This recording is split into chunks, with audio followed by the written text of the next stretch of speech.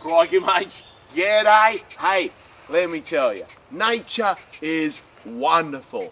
And nature is supposed to be relaxing and soothing, but it's hard to relax when you feel the soft brush of something on your cheek and find out it's a stink bug, or you're at home and an unexpected pest visitor scurries across your toes. Ugh finding mouse droppings on your expensive lingerie or holes nibbled in your favourite sweater or mate, even a nesting mouse in your cosmetic drawer.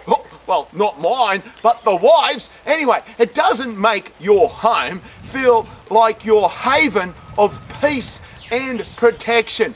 No, mate. So what you got to do is take back control and eliminate those intruding pests. Here's what you do. You seal up the cracks in your home and fix broken screens. Hey, make sure you have a sweep on the doors. Keep the yard waste cleaned up, trim the bushes that are close to the house or overhanging branches, mate. That's a gateway, that's a bridge for pests to get into your house.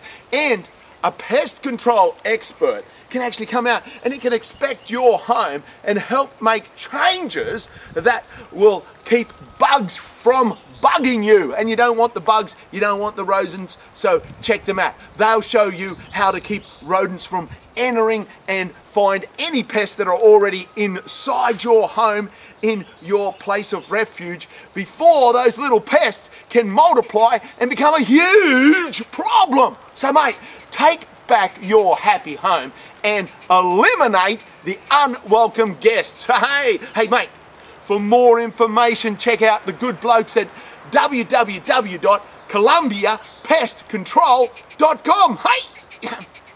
Oh, Rocky, there he is.